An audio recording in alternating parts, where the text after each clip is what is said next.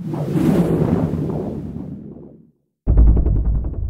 I'm Kerrie Eyles, I'm 18 and I'm from Sheffield and I'm working for Battle Arena. Um, one of my friends approached me and just asked if I'd do it and I said yeah, that's fine. It was good, everyone was really friendly, like obviously I was really nervous, everyone was really friendly and um, yeah it was a rush, it was a rush, it was good.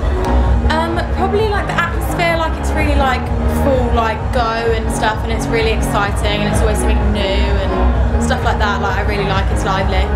Worst moments, um, the heels, wearing the heels. I broke my toe last time and it was really awkward and I couldn't walk anymore but the best moments, all of it really, it's all like meeting all the new fighters, seeing it's new every time, it's fresh, so it's good to like.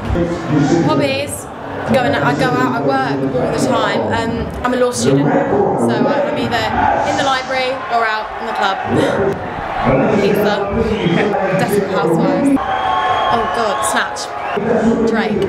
Um, oh, you look like an angel. You fell from heaven. Worst. Lawyer. New York. Night out, definitely. I'm Kerrie at MMA Battle Arena.